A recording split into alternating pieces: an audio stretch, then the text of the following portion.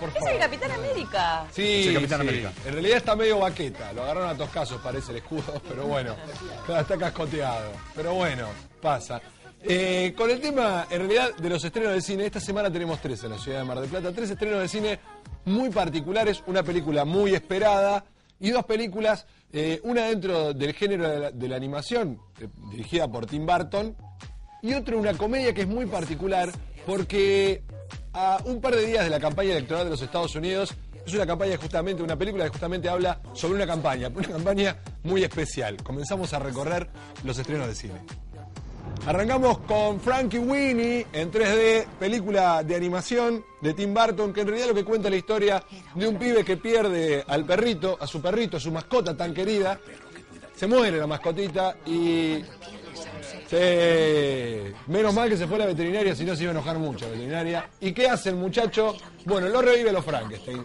Junto la parte de esto y la parte del otro, es su especie de perro Frankenstein. Me gusta. Esas cuestiones de Tim Burton muy particulares, pe- película oscura y demás de animación para chicos, donde cuando en el pueblo descubren que pasa esto, todos dicen, pará, revivime el pajarito, revivime la mascotita, el gatito y demás.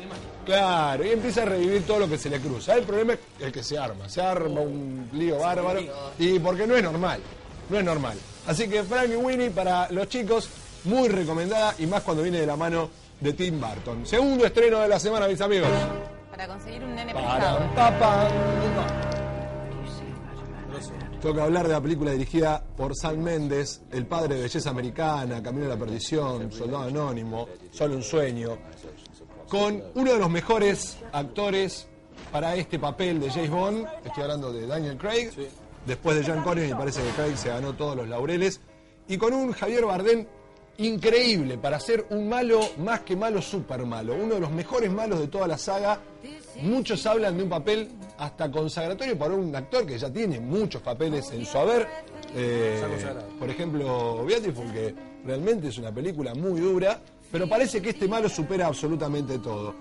Una película que tiene un muy buen argumento, donde el conflicto se arma porque M, que es la jefa de James Bond, tiene un problema muy particular y parece que la quieren boicotear. Entonces James Bond eh, sale la operación Skyfall, que es borrame todo lo que tenés en el disco rígido y anulame a todos los agentes secretos.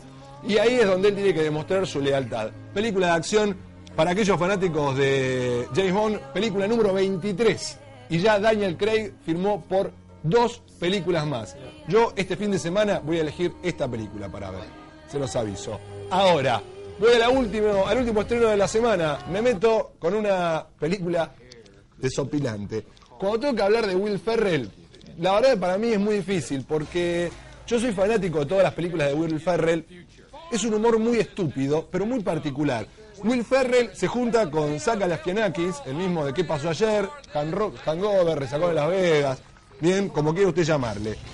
Y cuenta la historia de un candidato, un tipo que se manda una macana un par de semanas antes de las elecciones. Y un grupo de empresarios ponen mucha plata para crear a un un candidato que confronte con este tipo que se mandó una macana tremenda. Bueno, el candidato es justamente Saca la Fianakis, el que está entrando en ese momento, que en es una especie de no, una persona muy rara, pero con la plata se puede hacer cualquier cosa. El tema es qué te piden a cambio en una campaña. Bueno, eso es lo que vas a descubrir esta película, Loco por los Votos. Hay una escena que es descomunal, que es esa, donde están en una cena familiar y donde el candidato le dice a la familia, miren, necesito que me blanqueen todo lo que tengan para decir porque no quiero que la prensa se entere. Bueno, esa conversación es descomunal, he estado riéndome un rato largo. Estos son los tres estrenos de la semana para que lo puedan ver, una comedia, una de acción para ir así armados hasta los dientes y una para los chicos, chicos.